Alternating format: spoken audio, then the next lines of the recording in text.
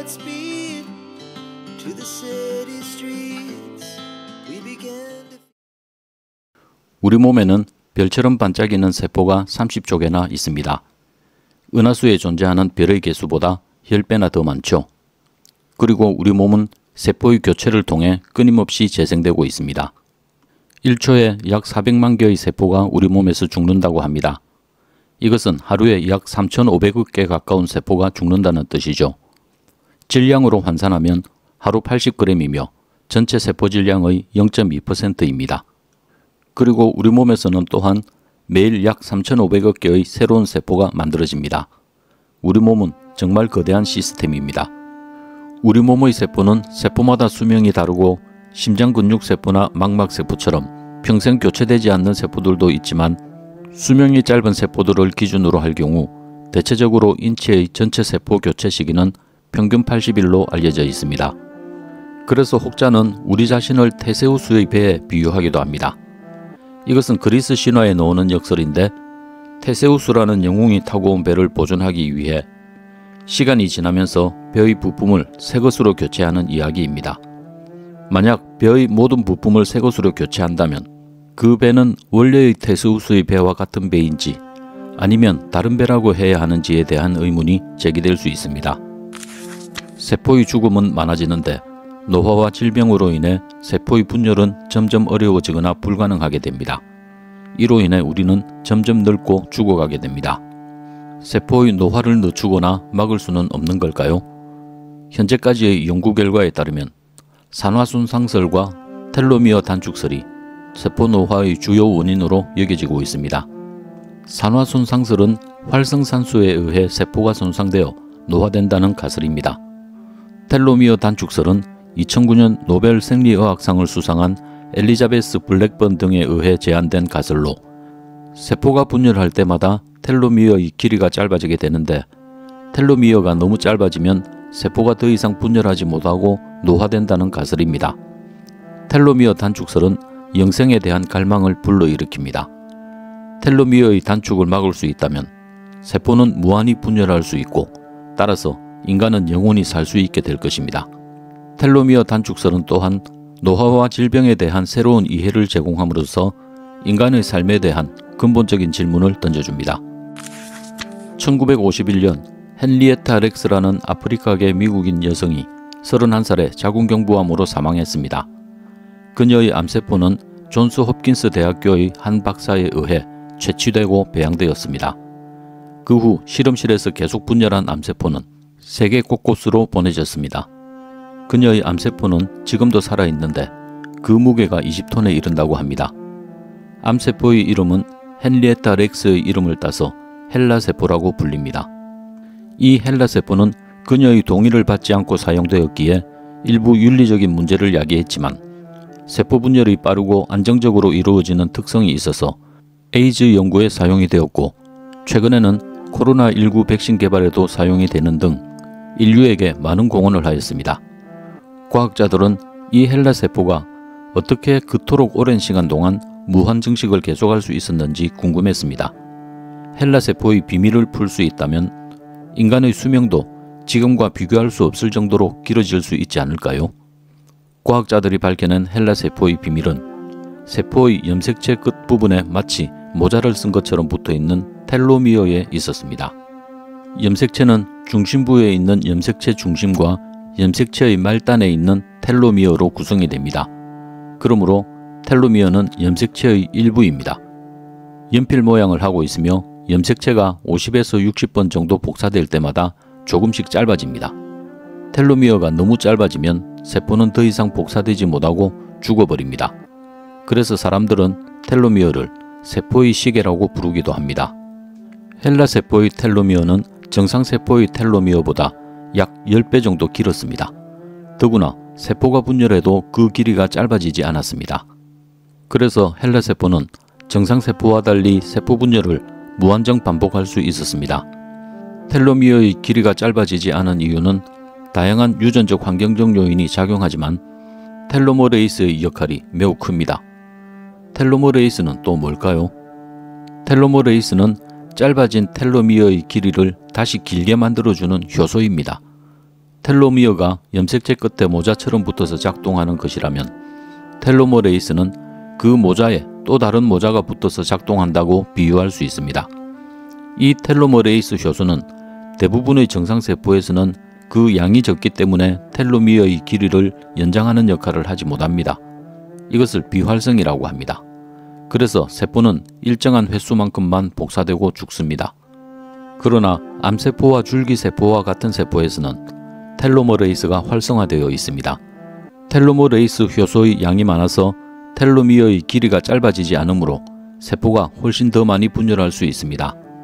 특히 암세포의 경우는 telomerase가 과활성화되어 있습니다. 그래서 헬라세포처럼 오랜 시간 동안 분열을 계속할 수가 있는 것입니다. 텔로미어를 발견한 사람은 엘리자베스 블랙번입니다.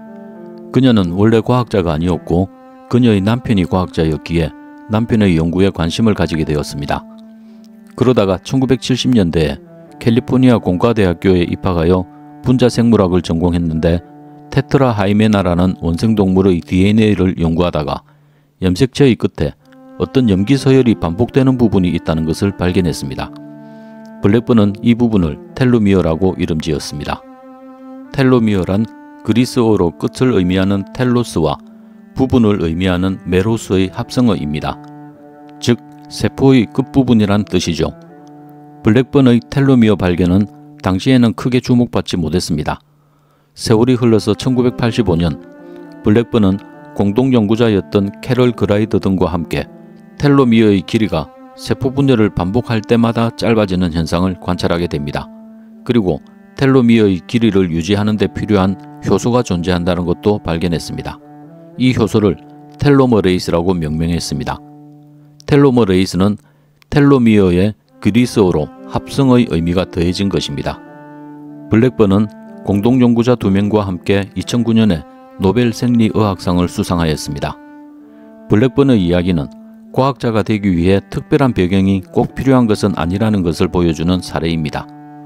아무튼 텔로미어와 telomerase의 발견은 과학자들에게 노화를 멈추고 영생이 가능한 비밀을 찾았다고 생각하게 만들었습니다. 텔로미어의 길이를 인위적으로 연장하거나 telomerase를 활성화시키면 세포가 무한히 살고 노화와 질병을 막을 수 있지 않을까요?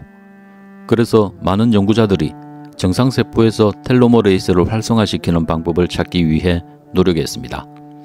그러나 정상세포에서 텔로머레이스를 활성화시키는 것은 생각보다 매우 어려운 일이었습니다. 텔로머레이스는 정상세포에서는 대부분 비활성화되어 있기 때문에 텔로머레이스를 활성화시키기 위해서는 텔로머레이스 유전자를 세포에 주입하거나 텔로머레이스 활성을 조절하는 약물을 개발해야 합니다. 또한 정상세포에서 텔로머레이스를 활성화시킨다 하더라도 그것이 안전하고 효과적인 결과를 가져올지에 대해서는 아직 알 수가 없습니다. 결론적으로 현재까지는 텔로머레이스의 활성화는 노화를 되돌리거나 생명을 연장하는 것이 아니라 오히려 암을 유발하는 위험을 높이는 것으로 나타났습니다. 텔로머레이스가 활성화되면 세포가 정상적으로 죽지 않고 무한히 증식하게 되는데 이는 암세포의 특징과 일치합니다. 실제로 텔로머레이스를 활성화시키는 약물을 쥐에게 주입하였더니 정상세포가 암세포로 변하는 것을 관찰한 연구도 있습니다. 결과적으로 텔로미어와 텔로머레이스를 조작하는 것은 세포의 수명과 관련이 있지만 세포의 수명이 인간의 수명과 동일한 것은 아니었습니다. 오히려 인간의 수명을 늘리는 가장 좋은 방법은 세포의 죽음과 교체를 전제로 합니다. 세포가 죽지 않으면 세포의 손상이나 노화가 누적되어 세포의 기능이 저하될 수 있습니다. 세포는 죽음을 통해 손상이나 노화를 제거하고 새로운 세포로 교체됩니다. 세포가 죽지 않으면 세포의 유전자에 돌연변이가 생겨도 세포가 자기 조절을 할 수 없습니다. 세포의 죽음은 세포의 유전자에 문제가 생기더라도 세포를 제거하여 암의 발생이나 기타 질병을 예방하는 방법인 것입니다. 그리고 결정적으로 텔로미어와 텔로머레이스를 조작하더라도 심장 근육 세포나 망막 세포는 세포 분열을 거의 하지 않으므로 관련성이 매우 적습니다. 텔로머레이스를 비활성화시키는 연구에서도 비슷한 문제가 발생하였습니다. 텔로머레이스를 비활성화시키는 것은 암세포의 분열을 억제하여 암의 성장을 늦추거나 멈추게 하는 것이 목적입니다. 그런데 이것은 정상세포들의 분열 또한 불가능해지면서 면역력이 저하되고 인체에 여러 종류의 손상된 세포들이 쌓여서 염증과 질병이 유발될 수 있습니다. 이처럼 텔로미어의 길이를 인위적으로 조절하는 것은 심각한 부작용이 초래되며 이 과정에서 새로운 질병이 발생할 수도 있으므로 이러한 문제들을 해결할 수 있는 새로운 방법이 필요한 상황입니다. 그렇다고 해서 텔로미어와 텔로머레이스에 대한 연구가 의미 없는 것만은 아닙니다. 정신적인 스트레스가 텔로미어의 단축을 가속화하고 운동이 텔로미어의 길이와 텔로머레이스의 활성을 증가시킬 수 있다는 연구 결과가 있습니다. 또한 텔로미어와 텔로머레이스를 암의 치료와 예방에 활용할 수 있는 가능성은 여전히 존재합니다. 텔로미어와 텔로머레이스의 역할을 정확하게 이해하고 조절하고 활용할 수 있다면 암의 치료와 예방에 큰 도움이 될 것입니다. 생각컨대 텔로미어의 존재와 텔로머레이스의 활성화는 생명체의 진화 과정에서 선택된 결과로 보여집니다. 일반적인 세포에서 텔로머레이스가 비활성화되는 데에는 어떤 이유가 있을 것이라는 생각을 해봅니다. 텔로머레이스는 세포가 자신의 수명을 연장하는 일종의 방식입니다. 텔로미어가 너무 길거나 텔로머레이스가 과도하게 활성화되면 암세포와 같은 비정상적인 세포가 발생할 수 있고 이것은 세상의 질서에 반하는 것이기 때문입니다. 그래서 줄기세포처럼 활성화가 꼭 필요한 곳에서만 활성화가 되어 있습니다. 세상의 모든 생명체는 어쩌면 누군가 혹은 무언가에 의해 기획된 것이 아닐까 하는 의문이 들 만큼 정교한 모습을 하고 있습니다. 우리가 세상을 바라보는 많은 가설이 있습니다. 시뮬레이션 가설에 의하면 우리의 현실 세계는 사실은 컴퓨터 프로그램에 의해 만들어진 가상현실일 수도 있다고 합니다. 프랙탈 우주 가설에서는 우리가 사는 세상이 더 큰 세상의 입장에서 볼 때 하나의 세포에 불과할 수도 있다고 봅니다.